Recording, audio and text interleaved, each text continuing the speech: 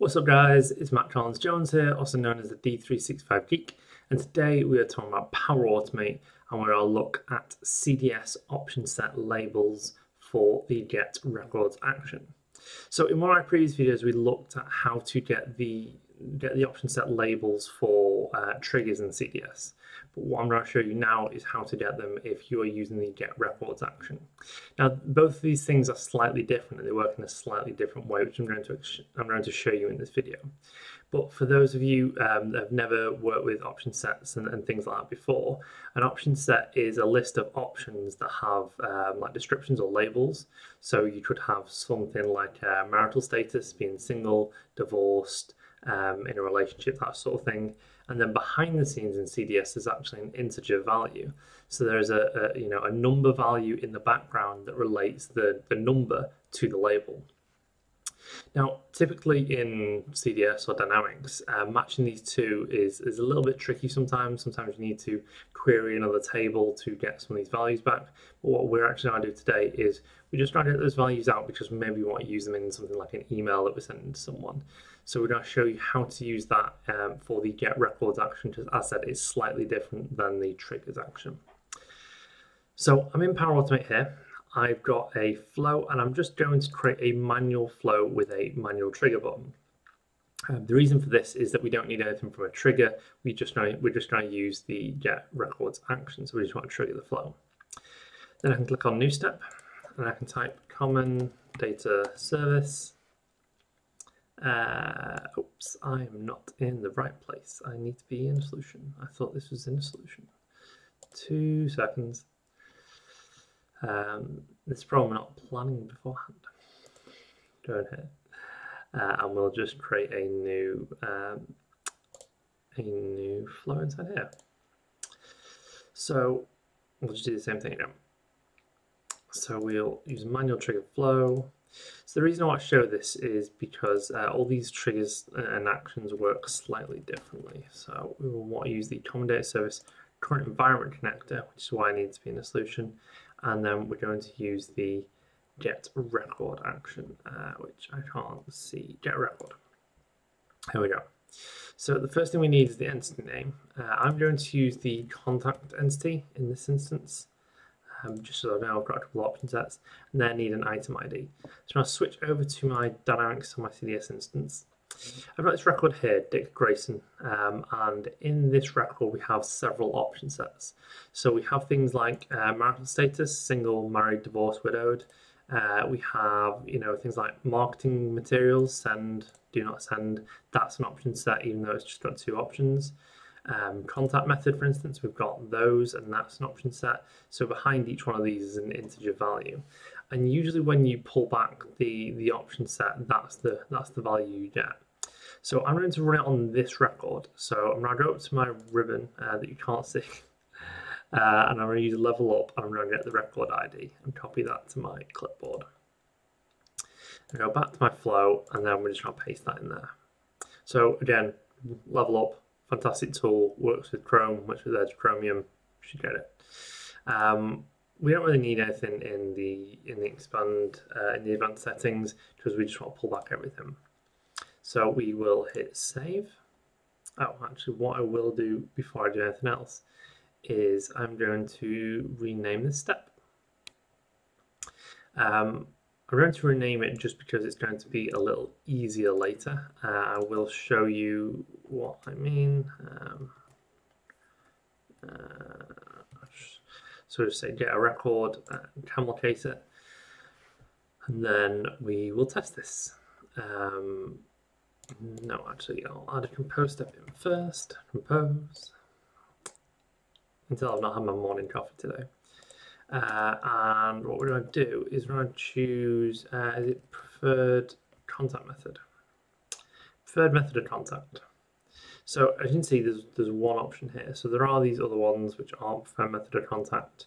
Uh, but this is the this is the option set that we're going to look for and we can also do uh, marital status if we really want as well um, marital status so again there's only one option for that so we put that one in and then we'll test this out so we'll click on test I'll perform the trigger action we'll save and test and we'll wait for this flow to run. Run the flow, click done, and the flow runs successfully. Uh, and we just need the string to that. There we go. So if I expand the compose action, we can see that we just have two ones in this. So that, that's that integer value behind the option set. There's not really that much use to us. So if I expand get a record and I go down to the body, I copy this out into Notepad++, um, so we can kind of see that uh, we have loads of loads of different data in here. Um, and one of the things that we're looking for is uh, search for uh, what is it um, preferred preferred there we go and that's uh, appointment type contact method there we go so we have the preferred contact method of one but we do have this one as well this option here which is actually what we what we want so preferred contact method at odata.community.display v1 formatted value. So that's actually what we want to get out. Uh, we we want the the label out. We don't want the um, uh, we we don't want the the value. So previously I've shown you how to get this uh, using uh, I think it was like it's usually something like underscore name of field underscore label is what you're looking for. But when you're using the get record um, in, inside the common data service current environment connector, is what it's actually doing is it's doing an, an I think it's doing an OData lookup to that other table and pulling that value back. So it's slightly different from the label, uh, from the from the you know you know name of field underscore label. What we want to do here is we want to use this instead. So we can use it in exactly the same way. So what I'm going to do is I'm going to copy that to my clipboard, and that's what I'm going to use um, later on. So if I click on edit, if I take away marital status there, and what I will do is I'm going to insert a function or an expression. So the expression that I'm going to use is um, is body. Um, so we're going to use uh, body. Then we're going to open the brackets. Then it's going to ask me for the action name. Now this is the reason why I took away the spaces inside the action name um, because Power Automate doesn't really like spaces. So you can actually do this if you still have spaces, but uh, where every space is, you just replace it with an underscore. But for ease, it's sometimes easy to just rename the step. So get a record. So what that's going to do is that's going to return me the entire body, but I don't want the entire body, I just want a single attribute from that body. So to do that, we can specify that. So if we do question mark, because um, that will say whether the field is optional or not. So if there's a question mark in it, it says this field is optional, it may contain data, it may not contain data. So it's always handy to have in. Then we, um, we create some square brackets, and then we're going to create some single quotation marks again, and then we're going to paste in the name of that field that we want to get out. So what we've got is body inside the brackets, so the parentheses for the body, we've got get a record, question mark, and then inside some square brackets, uh, we've got, um, or some actual brackets, uh, we've got uh, the, the name of the field that we want. So we hit escape, goes in there, looks good. So let's hope that that works. Uh, did I try and put that on a different line? Doesn't want to go on a different line. No, never mind. Ah, well. So we will click test uh, and we'll just save and test again. And then we'll run this. So what we should see is we should see the number one followed by any. If I've done this right. If I've not done this right, we won't see that. One any. There we go. So what what we can, uh, the other thing we can do is uh, if I go and change this from any to say phone, and we save it, and then we go back to the flow, and we run the flow again, and we'll just trigger this again. Hit run flow. There we go. Uh, and there we go, three phone. So you know that one is any, three is phone, um, and we can see that both of these values are updating, so we know that that's getting that label out.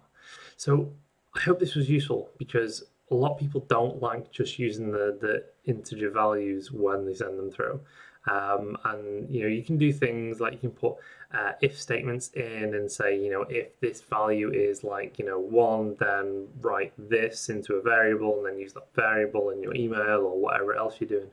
But seeing as the values are already there we can just query it and just get it. So it uses a little bit of expressions a little bit of function language to actually get what we need to but it does give you a lot of value back by just being able to just go in and just go pan this and then we can have everything in a single step so I hope this video was useful to you. If you did find it useful, if you could hit like and subscribe, uh, that would be much appreciated if you're not already subscribed.